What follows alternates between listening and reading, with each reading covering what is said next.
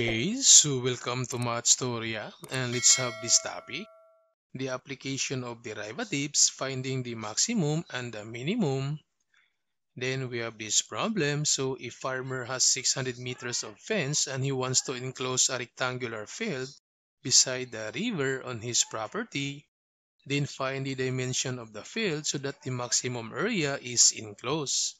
So if this is the rectangular field, beside the river and we can have this as y and this are x.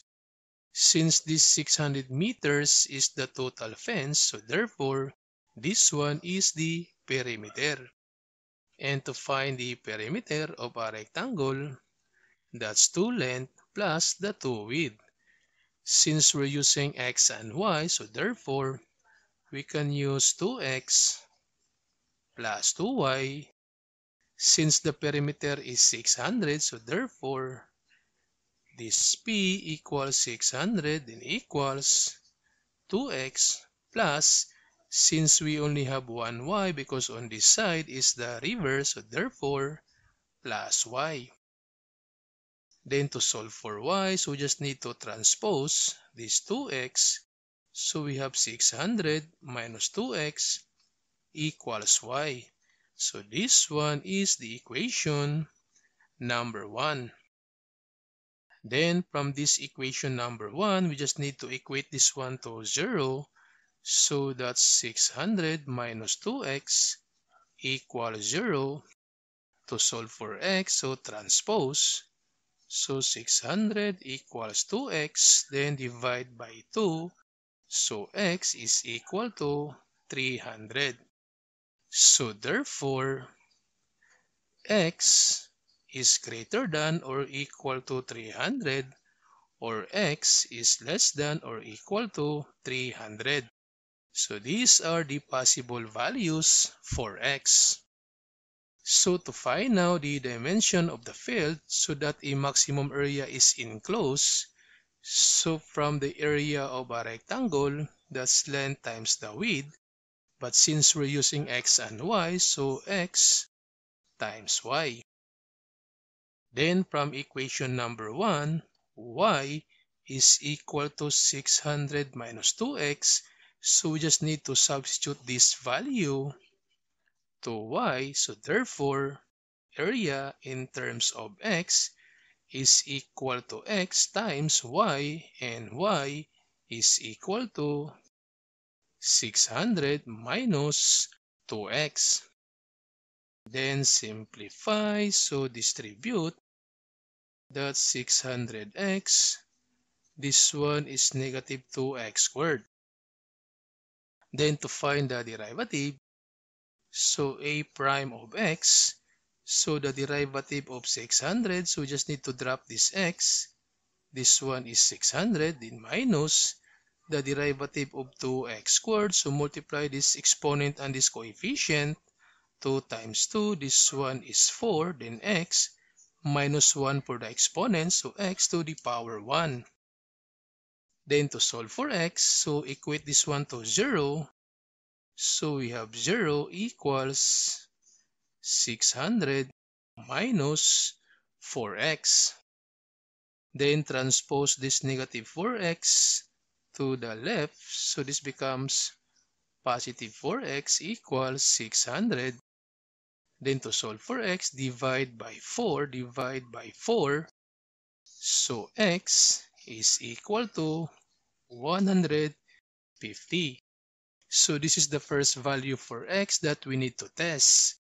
Then we need to test also x equals 0 and the last one, x equals this 300.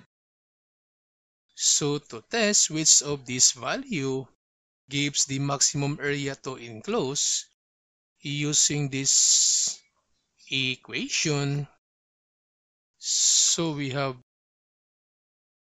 area in terms of x, that's 600x minus 2x squared.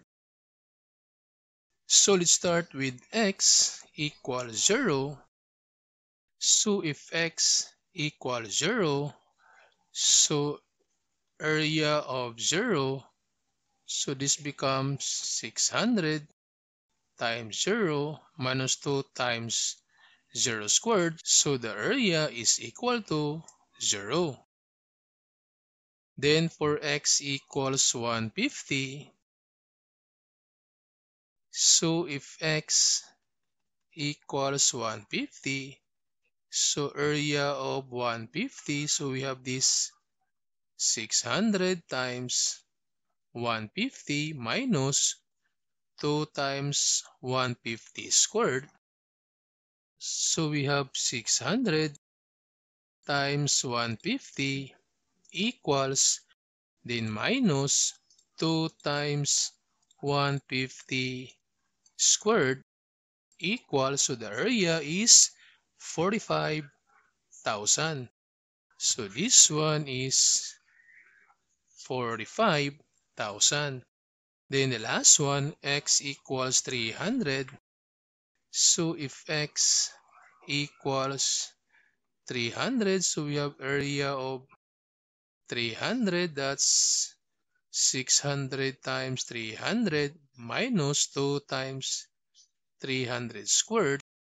So we have 600 times 300 equals then minus 2 times 300 squared equals so the area is equal to 0. So therefore, the value for x to give a maximum area, x is equal to 150. So x is equal to 150 meters. Then to solve for y, from this equation, so we have this 600 minus 2x equals y. So we have 600 minus 2 times x, x is 150 equals y. Then 600 minus 2 times 150, this one is 300 equals y. So therefore, y is equal to 300 meters. So therefore, the dimension of the field so that the maximum area is enclosed, that's 150 meters by 300 meters. So this is now the dimension of the field.